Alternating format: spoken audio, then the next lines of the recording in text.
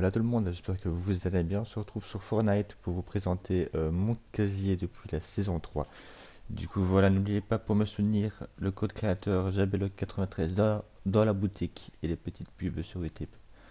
C'était Jabelo, à la prochaine.